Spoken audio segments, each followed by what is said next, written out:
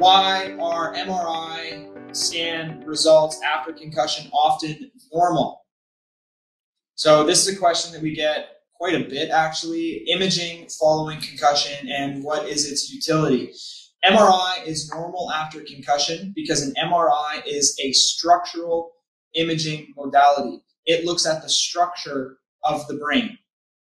Concussion is a functional injury, meaning that the injury itself changes how the brain functions, but the structure of the brain remains intact.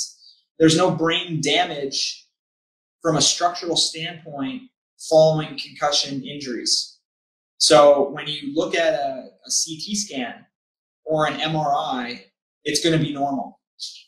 The purpose of doing those scans is to look for something more serious. So a CT scan is very good at picking up fractures of the skull, and it's also very good at picking up bleeds in the brain. So the purpose of doing a CT scan in the hospital immediately following injury would be to look for a bleed.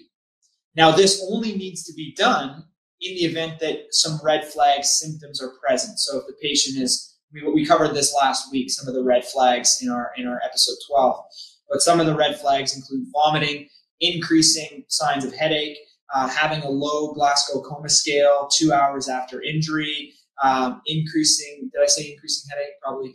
Uh, balance impairments uh, that are significant. Uh, and then other overt neurological signs like, uh, you know, cerebellar testing or cranial nerve screen that, that indicates some findings then you'd want to do a CT scan to potentially look for a bleed.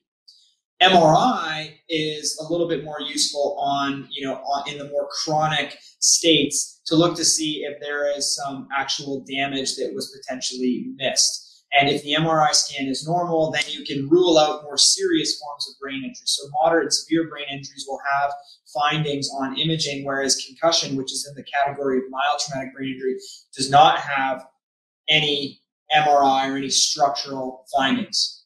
So, to reiterate the answer, MRI scans are often normal after concussion because, by definition, concussion would have an, a normal MRI scan because concussion is a functional injury and MRI looks at the structure.